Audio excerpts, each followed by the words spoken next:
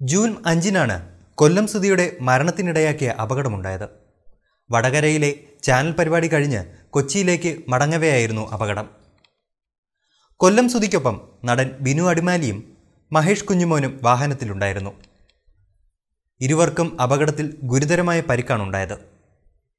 പഴയ ജീവിതത്തിലേക്ക് തിരിച്ചു വരാനുള്ള തീവ്ര ശ്രമത്തിലാണ് ഇന്നിരുവരും മിമിക്രി കൊണ്ട് പ്രേക്ഷകരെ അമ്പരപ്പിച്ച മഹേഷ് കുഞ്ഞുമോൻ കഴിഞ്ഞ ദിവസം ആശുപത്രിയിലെ ചികിത്സയ്ക്ക് ശേഷം വീട്ടിലേക്ക് തിരിച്ചെത്തിയിരുന്നു.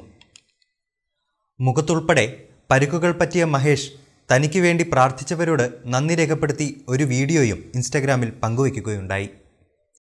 എനിക്ക് വേണ്ടി പ്രാർത്ഥിച്ച എല്ലാ ആളുകൾക്കും എന്നോട് ഞാൻ നന്ദി പറയുകയാണ്.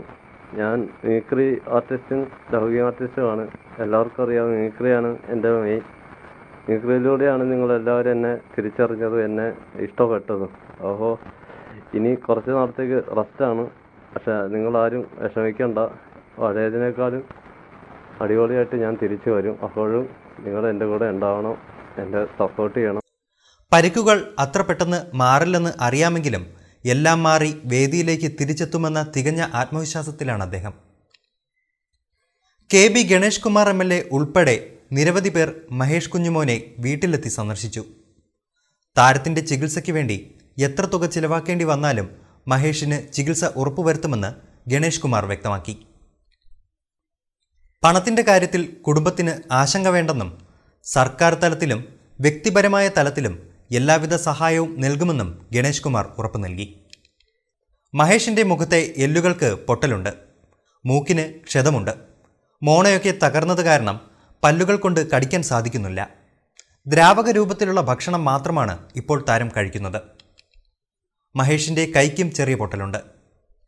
അപകടം നടന്ന ദിവസം കാറിന്റെ പുറകിലായിരുന്നു മഹേഷ് ഇരുന്നത്. അപകടം സംഭവിക്കുമ്പോൾ താരം ഉറക്കത്തിലായിരുന്നു. മുഖം മുന്നിലെ സീറ്റിൽ ഇടിച്ചാണ് താരത്തിന് പരിക്ക് പറ്റിയത്. മുഖത്താണ് ഇടിയേറ്റത്.